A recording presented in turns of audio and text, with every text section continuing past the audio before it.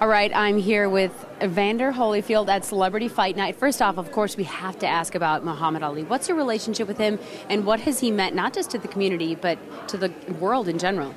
Well, um, of course, with me at eight years old, I was told that I could be like Muhammad Ali, and which was was amazing because you know came from a poverty background, and I was told that I can be anything.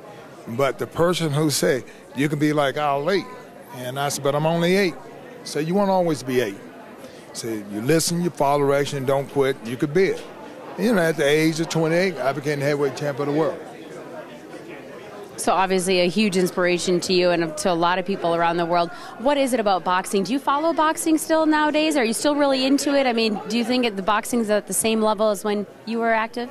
Well, actually, you know, boxing have its ups and downs, just like anything worth having, have its ups and downs. And uh, of course, it's in a building uh, in a building program, uh, a building stage because you know I remember when Ali was champion. Then he, when he wasn't a champion, it took it took minutes of years before a Mike Tyson showed up and put it back up.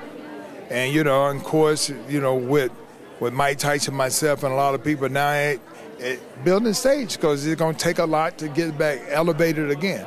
And, I, and, but I know that as well. I'm telling you, no more than time, time, time make everything go. Last but not least, Pacquiao Mayweather. Are we going to see it?